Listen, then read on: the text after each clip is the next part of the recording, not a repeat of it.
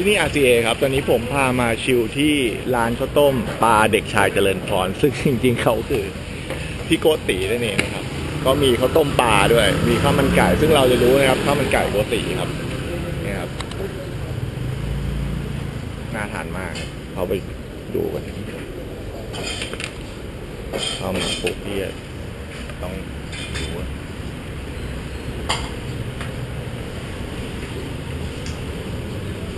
มีอะไรบ้าง มีน้ำใบเตย ชิลครับ นี่ครับผมแจ็คกี้นะครับ พามาชิลที่ร้านพี่โกตินะครับ My Idol ครับ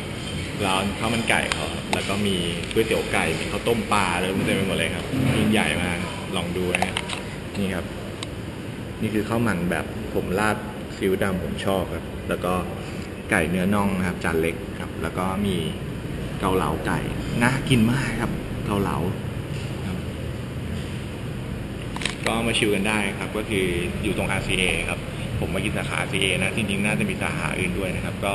มาจากเส้นพระรามเก้าแล้วก็เข้า RCA มาเลี้ยวเลี้ยวซ้ายเข้ามาแล้วก็ตรงมาเรื่อยๆครับตรงมาสักพักหนึ่งเลยทีเดียวนะครับ ไม่ไม่ต้องกลัวว่าเอ้ยทำไมไม่ถึงสักทีมันไกลเหมือนกันครับ อยู่ขวามือครับ ก็ลองมาดูครับ อร่อยนี่อร่อยแน่เลยนะครับ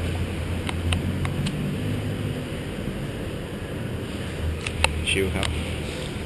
เวยเฮ้ยชิลเวยเฮ้ยลุย